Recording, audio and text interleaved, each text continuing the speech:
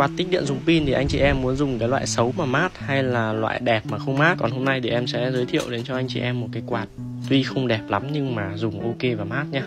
Nói chung là mới đầu nhìn vào cái quạt này thì anh chị em cũng không thích mua đâu, Tại vì là cái thiết kế của nó không được đẹp cho lắm. Cái lồng quạt của nó được làm bằng kim loại và rộng tầm khoảng hơn 20cm Và có hai cấp tốc độ để cho mọi người sử dụng. Và nó có cả túp năng nữa cơ Và cái con quạt này thì nó sẽ dùng cái chân pin phổ thông Chân pin phổ thông ở đây là cái chân pin M là anh em có thể dùng kết hợp với những cái con máy khoan, máy bắt vít hoặc những con quạt khác cũng dùng cái chân pin phổ thông và nó sẽ có kèm theo cái cục pin là 6Ah cho anh em. Nhưng mà đo thực tế cái cục pin này nó chỉ được tầm khoảng 4A thôi nhưng mà 4A thì mọi người dùng với con quạt này được tầm khoảng 4 5 tiếng thì cũng rất ok rồi. Sạc kèm theo cho mọi người là đốc sạc rời thì nó sẽ tốt hơn là cái chân sạc adapter.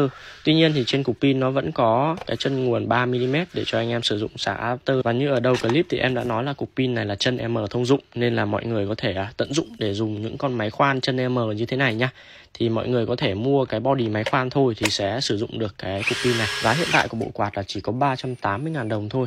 Nếu như mà mọi người đã có pin sạc sẵn rồi thì mọi người chỉ cần mua body là sử dụng được rồi. Đánh giá chung về con quạt này thì có mức độ gió mạnh, có cấp tốc độ 1 2, có túp năng để quay và pin thì dùng cũng được khá là lâu. Còn cái nhược điểm duy nhất là cái thiết kế và màu sắc của con quạt này nó không được đẹp mắt cho lắm.